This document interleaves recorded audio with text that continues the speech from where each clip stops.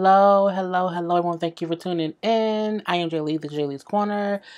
This is my review for Real Housewives of Potomac, season four, episode 17. It is 5:22 in the morning. And for the past hour, I've been sitting here working on the stuff like, oh, I'm gonna do Potomac tomorrow, I'm gonna do Potomac tomorrow. But I want to sleep in tomorrow because it's so late. And, you know, I'm like, let me get it done today. Plus, I got gossip chat to do tomorrow. But let's get started on this video. I felt like this episode wasn't that much, but we know the next week is the season finale. If you have not done so already, please come over to subscribe to my channel and become a it's girl J Bird dot dot dot dot dot and all that goodness. Okay, like the video, comment on the video, share the video. You can follow me on IG at J underscore Lees underscore corner. The link for that is in the description box below. So we see all the ladies are gathering because Gizelle then told Katie and Candiace, girl, told Ashley and Candiace that Katie is missing. Katie is gone. Her room is empty. Her door was unlocked. Her door was open. The clothes is all gone. The closet is empty. She, where is she? They talking like she. This is the weird part that frustrated me. Gizelle is so, oh, something must be wrong. Why wouldn't she talk to anyone? What's going on? If, but she hasn't checked out. If you go to someone's room and all their stuff is missing and they're gone, they left. Okay, if now if she would have said our stuff is there, but no one can find her and her door was open, okay, then that's different. But I'm like, clearly she left when Candiace then says, But we saw her last night and she had her coat and scarf on. She was leaving. Last night she's go girl anyway. But I'm like, why ain't nobody asking production where she at? I, that's that's what I would say. Gizelle then called Robyn as Robyn. She talked to Robyn. Was like, no. Then Karen walks up. But Karen, she text you. Karen's like, no. But I talked to her. Y'all think we saw her last. We saw her last time. She was. She had a coat and hat on or whatever. So I, I she may have left. And if she left, I'm not surprised that she left because you're saying I saw the pain on her face after Ashley berated her with that unhum- inhumane, you know, antics. I'm looking like Karen, girl, calm down. It's not Ashley's fault that she left. It's not, in my opinion. You know, Gizelle want to find. I just have to find out where she at. I don't know. You know, oh, if she wanted to leave, it's fine. But why didn't she tell somebody? I'm like, cause she's a grown woman. Okay, so Robyn comes out and Robyn calls Jacob and uh Candiace, Ashley, and Karen like, "Girl, have fun. We ain't got time for that." Cause again, they're like, she left. We don't, you know, she she she left and she don't talk to nobody. So when Robyn calls Jacob, who was Katie's boyfriend, he like, well, yeah, I'm, I'm upset or whatever, but well, is everything okay? Like, we haven't talked to Katie. Like, have you talked to her? He said, well, the last time I talked to her, it was last, you know, yesterday at midnight. So that's, you know, she just said she wasn't feeling too well. So I don't know, but if I if we figure out anything, I'll call. I'll call and let you know. Robyn and Gizelle then go to the front, the front desk of the hotel and says, "Can we file a missing person report?" I'm like, first of all, you ask the police that, okay? You don't ask the front desk receptionist at the hotel that question. But she then says, "Your security team said they found her, so you may want to just go talk to them." I'm like, again, why was nobody asking production a question? At that, If you think something wrong to file a missing person report, talk to production. Period. So security didn't say we talked to her. Where, where was she at? At the airport. Okay. The producer then walks up and said we talked to her as well, you know what I'm saying?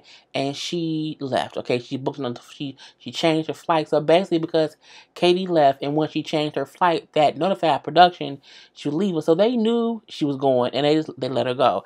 I'm like why wouldn't she talk to us? You know, I can't believe, you know what I'm saying? She wouldn't just tell us. Why, again, why didn't you ask production? Katie is a grown woman, okay? Grown adult woman with her own kids, her own life. Gizelle, it was to me it was too much like, oh my God, something wrong. Well, no, she just left. We then see they have a bunch of fun activities. Okay, they're out there horseback riding, even though Katie's not why I keep on saying Katie, even though um Ashley says she's not gonna go horseback riding because she does not like, you know, using animals in that way to where you're using them for like fun and you know they're as you're using them as like tools or whatever. I don't know what word she said. Gizelle, Gizelle then say, "Well, how you feel like people eating kangaroo?" it made me laugh, and I'm like, "Girl, it's two different things. I can understand someone who's like, I'm not gonna ride no horse because I don't want to be using the horse, as Jim said, uh, be using it to, you know, for manual labor. But if I wanna, you know, I'm saying, um, a, a chicken wing." I, I'm not gonna go ride the chicken. I'm gonna, I'm gonna eat chicken wing. I'm saying I'm, I'm gonna eat the food. I can see the difference between the two, but I I, I don't care. I won't ride a horse because I don't want to hurt my vagina. Um, and I'm gonna still eat some chicken. I'm not I'm not gonna eat no kangaroo, but I'll eat some chicken. So we then see there. Okay, they get there. So as she don't want to ride the horses, Gizelle got on the horse. She's like, I'm nervous. Mm-mm, I'm nervous, and because her horse was like snapping at another horse. Was it her horse that was snapping at another horse? Was it Karen's horse? Somebody's horse. But Gizelle got off. It don't feel right. Oh, it was Karen was later. It don't feel right. So she gets off. So her and Ashley just walks to the beach and they're walking in the water as the other ladies are walking in the water on the horses. They're riding the horses in the water. Um, but just Karen's horse starts beefing with Mayosa's horse. You know what? I'm done. Let me off. Because she didn't want the horse to like knock her into the water. Because they were like deep in the water. You know what I'm saying? You know, if you can't swim, I wouldn't want to be over there either. So we see that that was fine. You know, they all have fun. Uh, we then see they do two separate activities where Ashley, Robyn, and Karen go to explore some caves. They had bats in there. Uh-uh. I, nope. No, no, ma'am. No, thank you. No, sir. No, no, no, no, no, no. Okay. And we see Gizelle and Candiace go to an underwater submarine excursion. Okay. And everyone had a good time. I think because they were separate, okay? You, you, keep time separate is good, you know what I'm saying? So we do see Gizelle and Candiace talking on the way back. And you know, she brings up how, you know, when me and Ashley had a great time at yoga or you know, the other morning or whatever, you know what I'm saying? A good time was had. But oh, really? Well that's great. So you know what, I went into it, you know, letting go of what happened before or whatever, even though I'm still worried about what's going on with her and Michael. And this is the one of the two times I think this episode that I completely appreciated Gizelle. She said, you know what, at some point, you know, that's none of our business. Like at some point, we need to support her and wherever she is with that. We can't keep wondering and worrying and, and, and, making that an issue. Okay, at some point, it's none of our business. Well, I guess you're right. You know what I'm saying? I guess I'm like Karen sometime and I can just hold a grudge or, or hold on to something. You can, but girl, don't hold on to something that's none of your business. Anyway, so I'm gonna work on that. Please do. Please do. So we do see in the car, Robyn is asking Karen about, oh, so you know, you're gonna have the whole, you know, uh, the La'Dame launch or whatever. Are you going? Well, what do you want to? What do you see the La'Dame in like five years? And Karen got so like, uh, her whole face lit up. I hope like you know, being sold like in some national chain. I, really hope that's what that's what happens. You know what I'm saying? And that's that's my, that's what I want. It's like it's like my baby. Oh, so you're gonna have like you know other things besides like the roll on? Like are you gonna have like an actual perfume soon? She says, she says, well, I I do have that now. Whatever. Oh wow, okay. Robyn, her confession, say, you know what, Karen wants so bad to prove us wrong or whatever. I'm like, Robyn, have you sold that half duplex? Have you proved yourself? Have you remarried Juan? You can't talk about Karen's wants and and businesses or whatever because you it took you 10 months to flip a half duplex. That should have been four months. This hush puppy robin okay? Hush it. Anyway we do see at dinner day facetime monique who's still at home pregnant okay? Um oh i miss you guys. Where's where's katie where's where's Katie?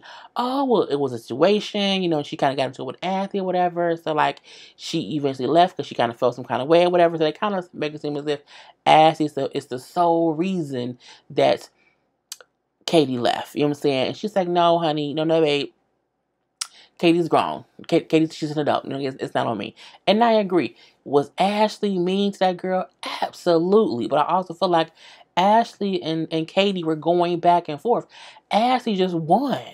And she said, one step too far, saying that Katie wasn't emotionally stable, but it was true. And they was ignoring it. Period. Okay. Anyway, so you know they hang up from Monica or whatever. It was fine.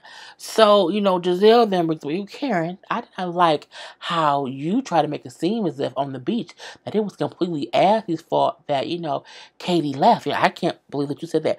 Well, I saw how hurt she was, and I told y'all before. I felt like what she said to her was inhumane. You know what I'm saying? It was too much, and I saw it on her face. I I I got it. You know this is my thing. Katie came on that trip and she was not in the right frame of mind. But you know I'm saying again, I think her and Ashley was giving it to each other. Period. Okay. So Katie brings up how she does realize that she was she know that she did not handle the situation in the best way. And now, you know, she's like considering how fragile Katie was in those moments, you know, I went too far. And she did. Again, she went too far. But I feel like it wasn't as if Katie's innocent, this innocent, fragile, delicate flower, that if you blow too hard, the leaves gonna fly away. And Karen, like, look, Katie is a quiet storm. Okay, she is very intelligent or whatever. You know, she, she it was just it was just too heavy for her right now, and she left. I agree. Okay, Katie was not in the best frame mind to be there for whatever the reason may be. She, period. Period. So they then bring up how um I don't know how they got into the conversation of Karen and some event she was at, and her and Ray was kissing, and it was nasty because they was all in, other, in, in each other's mouths. And Karen brings up how, well, when I kiss him, I have tongue control. I said, tongue control. So she then made her tongue be like, you know, I, I can't do it. But she did this weird thing with her tongue or whatever. You know, so this is how you control it. So like, so you know, my husband don't stick his, his tongue down my throat because I be like sucking his tongue. I'm like, what? Karen, no, stop. Just, just, and the conversation went there. The other ladies made the same tongue moving or whatever. But at this point in time, they're having fun. They're all laughing. A good time is being had by all or whatever. You know, Karen, like, I've been married a long time. You say I can do this or whatever. And then Jill said, I don't have no, I don't have no interest now. I can, I don't keep a man. No, you don't. Mm-mm. Mm-mm, no, you don't. Leave it alone. So we then see they're all taking shots and just having a good time. Okay, laughing, talking, laughing, talking. No one's arguing. It's a good time being had by all. So they get back to the room and they're all a little bit intoxicated. You then see that the cameras are all set with the girls have all went into the hotel. And you know, but you just hear the audio. And Karen, you hear Karen's audio and Ashley's audio. And you know, whatever else. Karen goes, I just want to talk to you real quick. You know what I'm saying? I just want to say. And I think Karen forgot she was still mic'd. Period. You know, I, I hold on to things sometimes or whatever, you know what I'm saying? And I needed Michael to be vindicated, you know what I'm saying? And I feel like the charge has been dismissed isn't him being vindicated. I just, he wasn't vindicated. So I feel like in a way, he is, you know, he still has that over his head or whatever. And then they in the, in the lobby, Candiace like, not Candiace, asked like, what, what, what are you serious? Like, what are you, what are you talking about? So their voices are being raised. And Candiace like, look, we could not be in the lobby again fussing and fighting. or they arguing and complain about us being in this lobby being loud? Like, let's go up. So they're trying to lead ladies upstairs because they're arguing as they're walking upstairs or whatever. So basically, Ash is confused. She's like, why are we talking about this? Like, what where does this even come from? But again, Karen is drunk. You can tell Karen is so drunk she doesn't get that she's not being friendly. She's she's she's on ten. She's on ten. She's not aggressive with it at all, but she is still teen too much for no reason, basically. And then she, I don't want to be fake and phony. Okay, I don't want to be fake and funny. And due to what I went through, I find you know I feel some kind of way, and I I, I need to be vindicated. So she feel like because of her situation, I know what happened to Karen she said, you know, any Michael admitted that it was that he, you know, that it was it was contact and contact without consent is not okay. Karen is in her feelings based on what she went through. I think it has less to do with Michael, what Michael actually did and what she went through, and it's how the situation itself makes her feel. You know I'm saying? And Ashley's like, what? You're crazy. Why are you talking about this? That's why you don't have friends. And I'm like, okay, y'all both is being too much.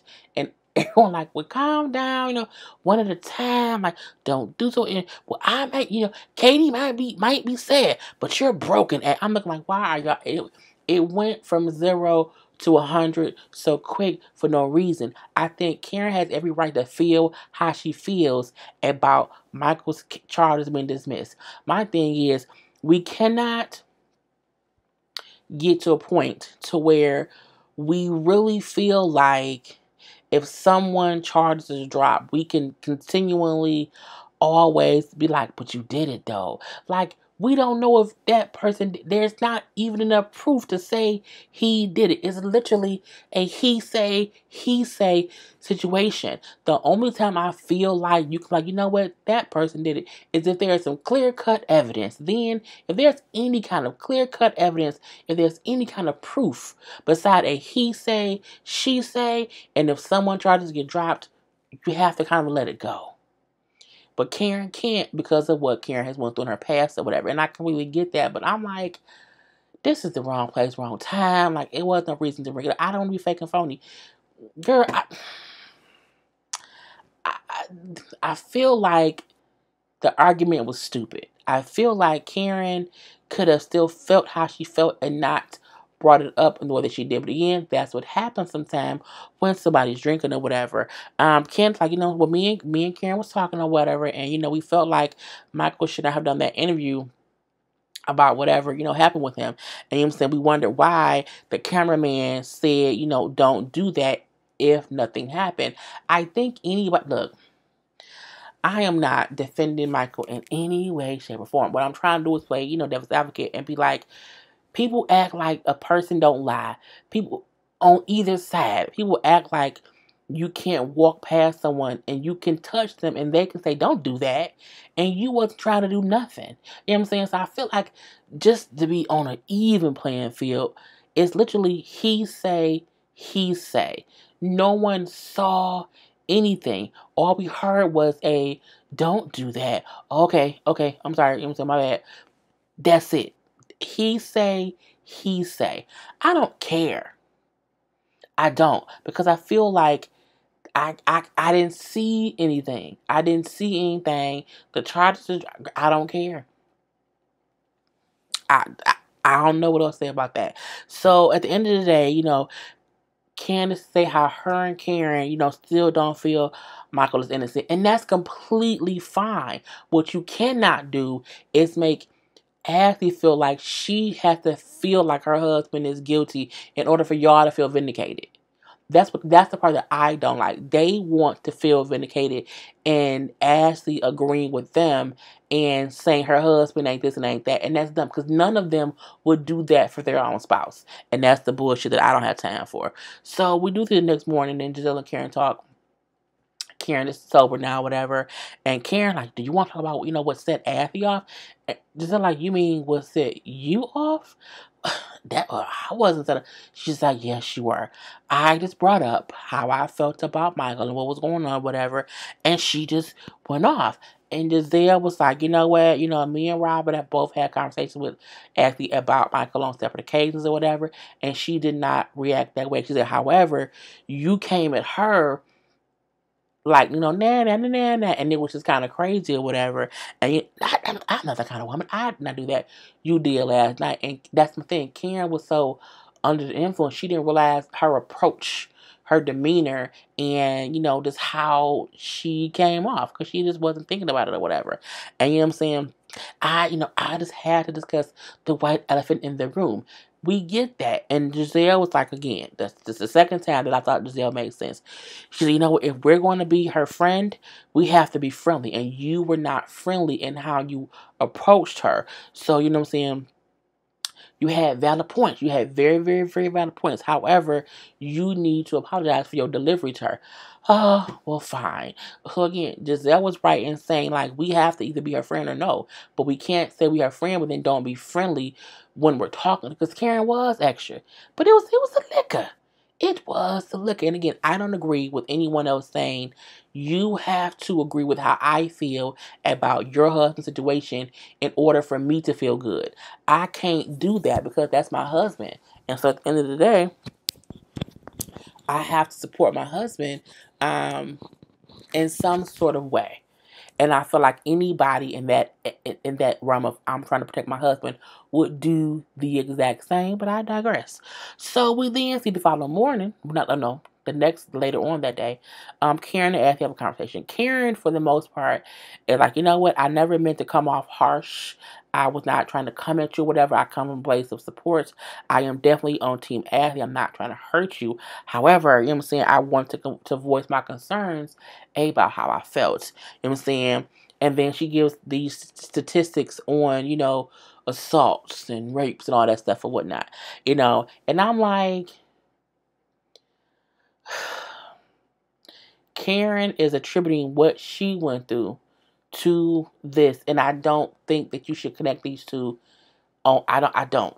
I don't. I, I get what she was doing, but I, I think these are two separate situations, and I don't like how she again is wanting Ashley to kind of side with her and see her point of view over Ashley. Something like he, the the charges were dismissed. What do you want me to do? Like, what I don't get. What, you, what, what should I just say? My husband ain't shit in divorce.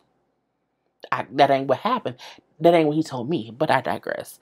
Anyway, Karen brings up. I don't think that he sh- should have done that interview, whatever. I think that was just too much. And Ashley, like, why would he not?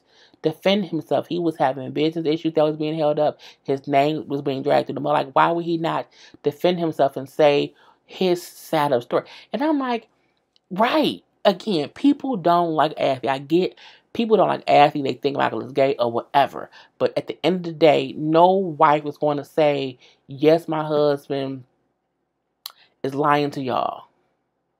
If that ain't what they believe. If they believe that it ain't nothing wrong with believe your husband, even if he lying. you know what I'm saying? I don't, and again, I don't care. Anyway, so they talk. Well, what he needed to do instead of going on that, on that news show is say sorry to you for for for putting you through that. And she's like, Karen, he did. Like we, you don't know what happened in my house because you never called and reached out to me to figure out anything. You know, she brings up how when Karen's parents died on both those separate occasions, she was out of the country, but she still reached out to Karen. So, however, Karen did not reach out to her when stuff with Michael was going on. And I'm like, y'all not really, y'all not really friends. But they agreed to disagree. Karen agrees to, which Karen apologizes, and because Ashley said, you know, you can't keep blaming me as I'm the only reason that we don't have a good friendship or whatever. Like, you have to take some accountability. I am, and not me say I'm sorry for A, B, C, D, E, F, and G or whatever. And they kind of make up. I, you know, again, it's this episode before the season finale and the reunion. I'm ready for the reunion. Okay, that's what I'm ready for. But at the end of the day, I'm happy that Karen was able to express herself able to apologize and also able to accept her part in what she played in between the beef between her athlete. And also athletes like you know I've apologized before to you for things I've done. Like I've done that but you can't keep blaming me as if I'm the only reason we're not friends. So you know it was what it was. And they say how they all have grown closer to the on this trip. Cool. We then see them go on a sunrise cruise on the last day. It looked really really pretty. Where's it at? Um all the ladies in a little, I guess, in a sailor outfits or whatnot. So, um, the picture is huge, of course. I want to show y'all because you know I do think the trip, for the most part, was a success. I think even with the couple of little hiccups or whatever, they all have fun. You know, fun was had by all. Um, and that's how they ended the trip. You know, Robyn jumped in the water talking about if I get hurt, Juan's gonna be very, very upset. Like you're gonna be it's gonna be a hard thing to tell Juan. Okay. You know, I mean, I guess it would be. I ain't say he wouldn't care, but I'm like, girl, okay. But yeah, they had a good time, and then we see when they get back to the house. Ashley brings up how when they when they get back to the states, she brings up how her breast was sore. She didn't get her period, so she thinks she's pregnant. But we know she's pregnant. You know what I'm saying? They then show her taking a pregnancy test, and they don't show us results. We know she she she had a baby. I mean, like, what are y'all? What are y'all trying to? You can't. I mean, it ain't like we don't know she had a baby. I mean, what, what the fuck? Um. Anyway, and then we see the preview for next episode, and honey, Katie looks good. Katie looked like she didn't got herself clean. Cause I don't know what was wrong with Katie. I don't, and I'm not gonna say I do know. I'm gonna wait until next episode and see what she say and handle it then. Otherwise, I'm done. Okay. If you have watched this whole video, I need you to put in um um Scarface, uh Seraphina, which is the movie. If you don't know what it is, look it up. Um, Pootie Tang. Uh, Pootie Tang. Um, but I need a movie quote. A movie quote, and then at the end of your movie, at the end of the movie quote, put random letters and numbers. I don't know. I'm it's it's five for eight in the morning. I'm done. Peace.